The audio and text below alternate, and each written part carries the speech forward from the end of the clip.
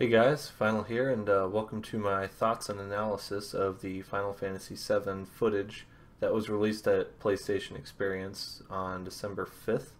Uh, I may be a little tardy to the party, but maybe I can give a different perspective or something that hasn't already been said.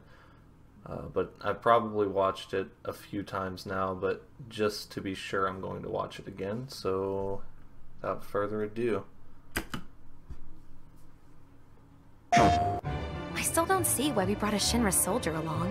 No way he'd throw all that away for us. What's his name, anyway? Cloud Strife. And he says it's former soldier.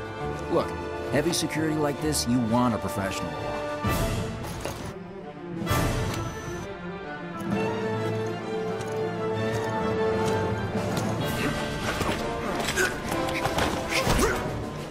We're paying you more than a few gil.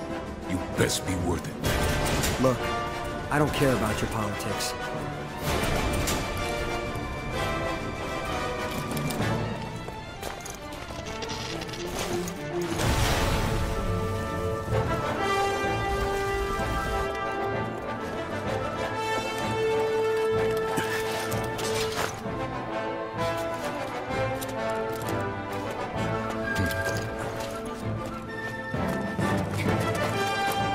You're doing this for the planet, same as us. Not interested. Wedge!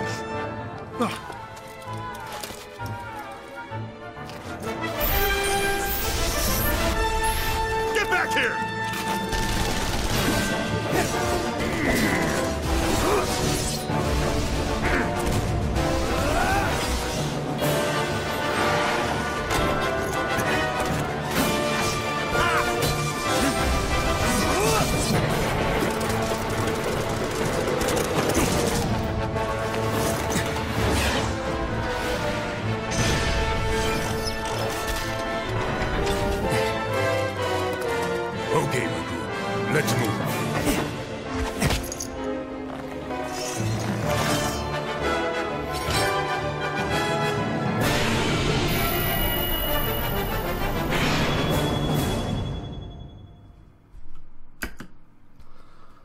Alright, well, um, yeah, so uh, let's just get right into it. So, starting off uh, towards the beginning of the video here, uh, you can see the uh, opening for the train Cloud Strife.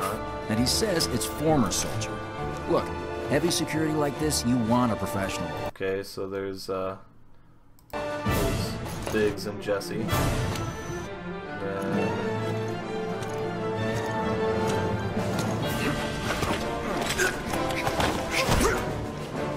You more than a few. Okay, so here's something that I noticed was discussed by multiple people. So they said, I don't know how I like the look of Barret.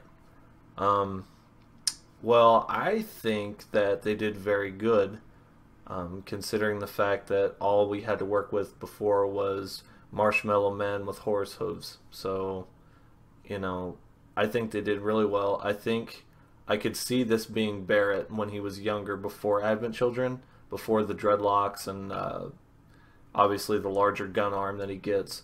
But as far as the sunglasses and whatnot, I also heard people referencing that he looks like Blade. Just because it, he has a fade and sunglasses, he's he's Blade. Really? That's racist. Anyway, moving on. You best be worth it. Look, I don't care about your politics. Okay, so I gotta admit, like that right there, just Cloud, his model is just perfect. It's literally everything I imagined it when I was a kid playing this game with my best friend. So I think they hit the uh, the hammer on the nail there.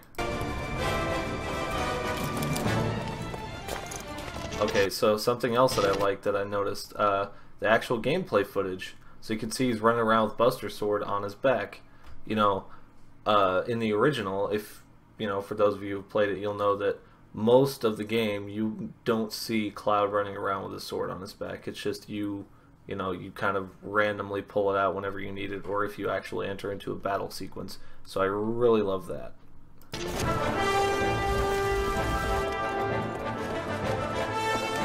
Okay, that's another thing. When he was running around the city and whatnot, I imagine it's not going to be 100% free roam, and for anyone who thinks that it's going to be, uh, you're probably going to be disappointed. You know, um, it's gonna it's gonna be somewhat.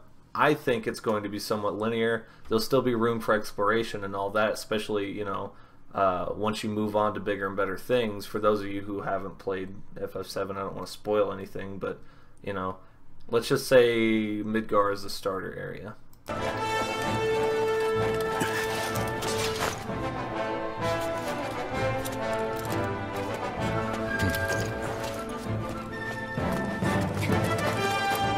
You're doing this for the planet, same as us. Not interested. Okay, so right there when uh, when Wedge talked, I don't know how I feel about his voice actor. Um, maybe they were going for like a like a fat kid who has like a raspy voice or something. It's the only thing I can think of. It's not bad, but it's just not what I pictured it. I guess. Um, and I know most people. I've seen a lot of uh, outrage from the FF7 fan community about how oh I, I prefer uh, Japanese voice acting or just no voice acting at all because you know anyone who watches anime okay not everyone but a lot of people who watch anime automatically say that all dubs are bad when that's not generally the case but you know uh, everyone's entitled to their own opinion Wedge!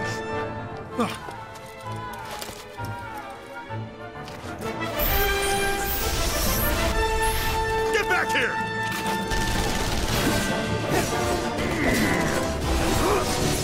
Okay, so uh, hang on. Let's go back just a smidgen here.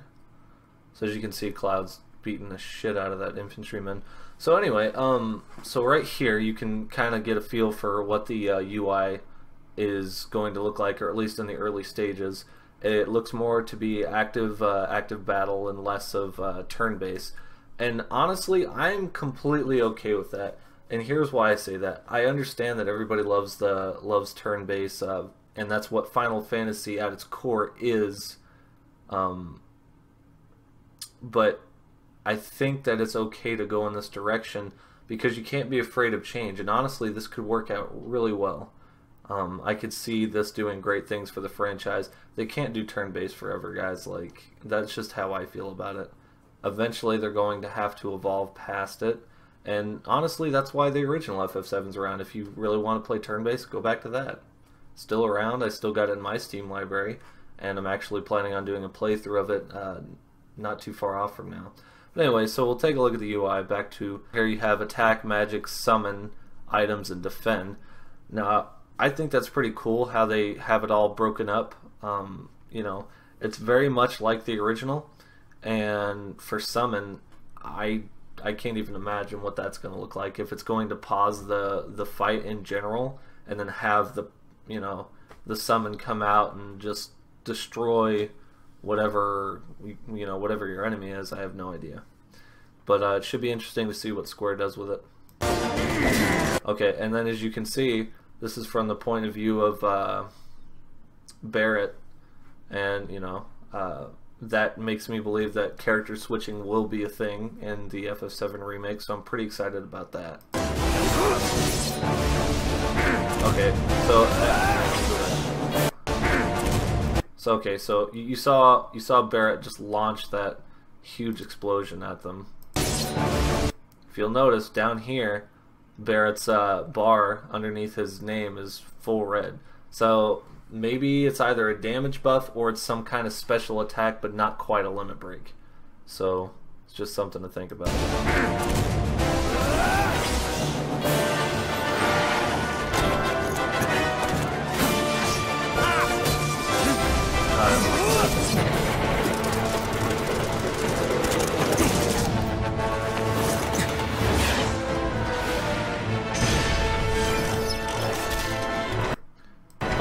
So the uh, the the Robo Scorpion or the Guard Scorpion, beautiful. Like just everything I could have imagined uh, for the graphics that we have today back in you know '97. I think I think it looks really good. And then as far as the uh, well, I can't get a really good still frame of them, but as far as Let's as far as the Avalanche characters in general, I think their design is really well thought out, really done. Uh, they've really fleshed out. I don't know what's going on with his mustache and beard there. I guess I just caught it on a weird frame. But anyway, I think it was really well thought out uh, how they fleshed out the characters so far. And to be honest, I cannot wait to see Tifa, if you know what I mean.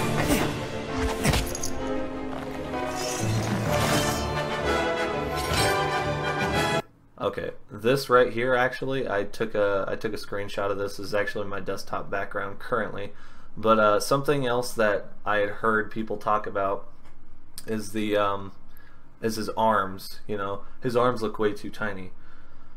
Well, if you go back to um, the Final Fantasy VII uh, strategy guide, or you know any image of him from like even the original booklet that came with Final Fantasy VII for PlayStation 1, you can see his arms are pretty small.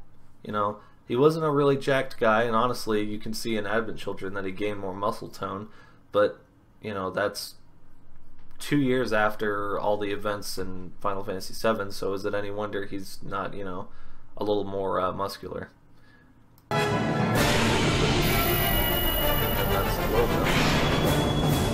Okay, one more thing before I move on to my next topic. Just go back here. Get back to the part where... Actually, no, that's... Okay, so th this is a good place. So, so watch Cloud's Buster Sword real quick as he walks by. Alright.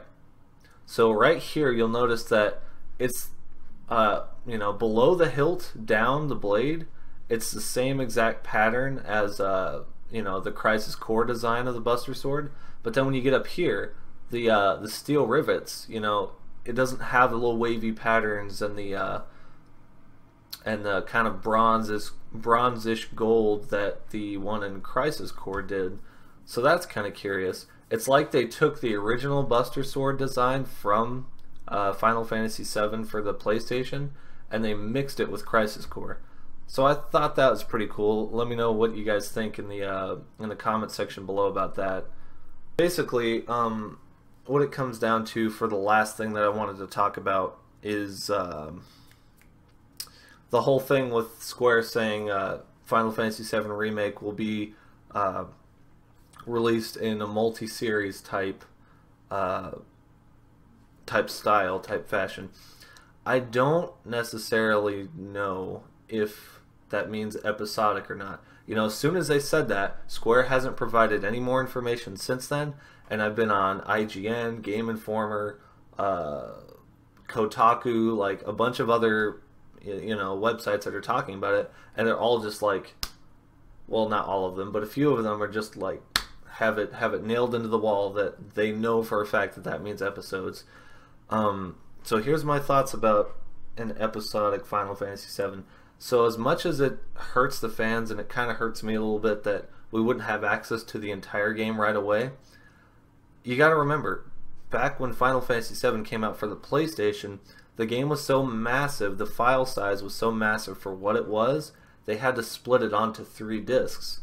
Now I understand that today we have, you know, newer technology, uh, we have Blu-ray disc and things of that nature, you know, stuff that can hold more more uh, information uh, per disc, but the amount of information that is required for this remake, while staying true to the original FF7 and not cutting anything out, as well as adding stuff to the game, you know, that's that is a shit ton of information.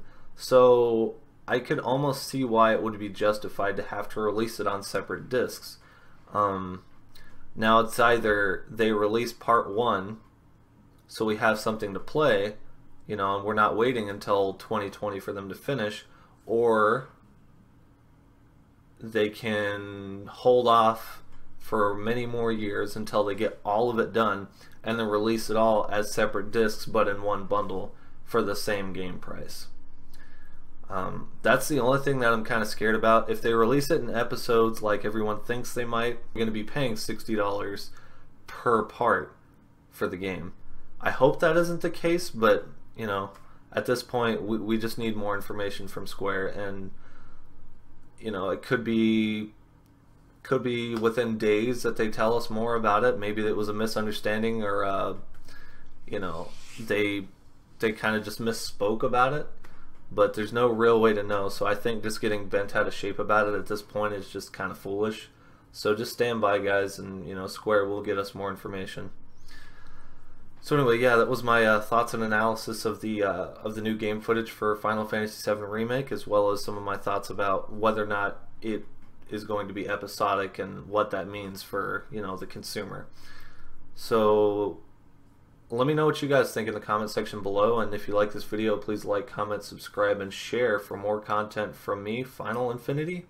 And until next time, guys, take care.